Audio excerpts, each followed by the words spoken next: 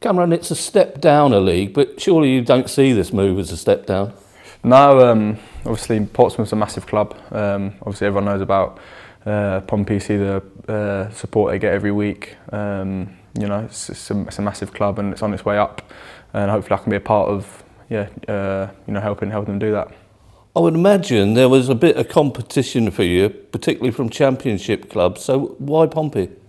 Uh, yeah, I think there was a few uh, a few clubs that showed a, showed an interest in the champ, but um, obviously uh, spoke to the gaffer here plenty of times, and um, you know got the deal done here because it just there was a real pull from obviously the fan base and you know everything about the club that maybe want to come here. Um, I've got a few uh, other things like mum's from here, grandma's from here, um, so uh, lots of things that sort of drew me drew me towards Portsmouth. Um, they're in a really good position at the minute. If we can put a, put a good run together and, and get promoted. Um, but yeah, there's a real urgency from the manager, uh, speaking to me a lot and uh, talked to me, talked me through the club. And I spoke to Conor Chaplin a lot as well. And um, he also said it was yeah a, great place to be. So um, yeah, decision was, was, was an easy one in the end. You went up with Barnsley from this league. So uh, what did they have to get them out?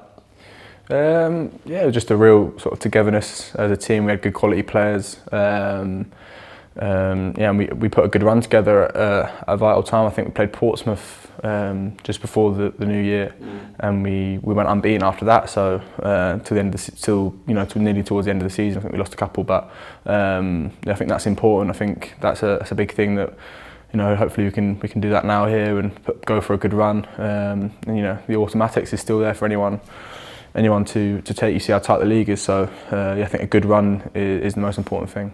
Apparently, you watched a few games here as a kid. Uh, yeah, I don't know about that one. No, I haven't. No. didn't? no, I, I, didn't. I didn't. I've obviously played here a few times, but I think my, my grandpa used to um, come and police the games because um, they're, they're, from Portchester. Um, yeah. But he used to come and police the games and stuff. And my mum, my mum used to come. I think when she was younger, but I didn't. I didn't come. To, I didn't come to any. To be fair, so I can't claim that one. But those local ties, uh, they would have been a pull as well. Yeah, yeah, definitely. I've always sort of kept a, kept half an eye on Pompey. Um, uh, so so yeah, definitely you know definitely played a, played a factor. Obviously, mum's got a lot of friends down here as well and uh, and stuff like that. But obviously, it was a footballing decision in the end. And uh, speaking to the gaffer and obviously the size of the club was was was a no brainer. Now I have to ask you about the situation down here a few years ago when he got carried off and a, a bit of a sour relationship with the fans as he went off. Tell us about that and your memories. Yeah, obviously, um, I think I heard a lot, a lot of clubs come to, to Fratton Park. Obviously, time wasting in, in League Two. It was early on in the game. Obviously, I've gone down. I think the fans just thought I was time wasting at first, and when I realised I'd broken my leg, I was sort of yeah, just sort of smashing the ground with my fist. And I think the fans thought I was maybe inciting them or something like that, but yeah, just obviously it's one of them things you look back on and, and it's just part of the story, part of the journey. Um, you look back and smile at it now. Um, but yeah, just it sort of adds to the, adds to the story of it, of it all at the time. And obviously, there's absolutely no no hard feelings there whatsoever from me. I just it's part of the game. It's uh, it's it's football. Um, as soon as I put that shirt on, I'll have the backing of the of the fans.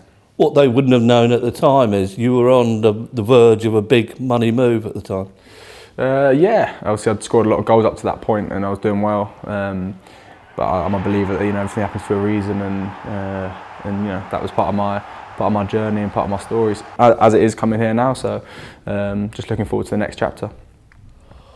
Beyond this season, footballers can't look too far forward. But uh, would you see yourself here long term?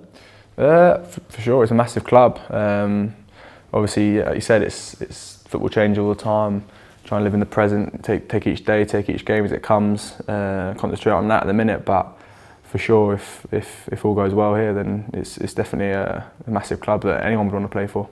Playing at Fratton Park, is it always as intimidating as an opponent as people think it is?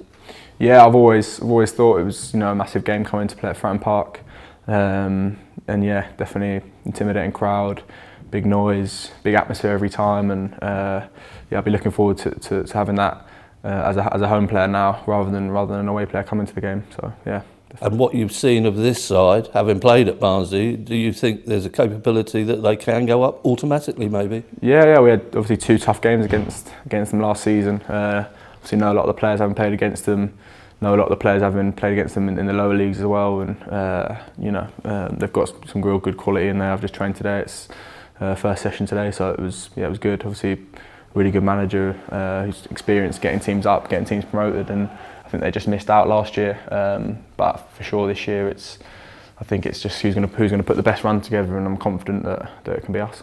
What essentially do you see your role as a player? Um, yeah, but just a, an all-round midfielder um, who can sort of do a bit of everything.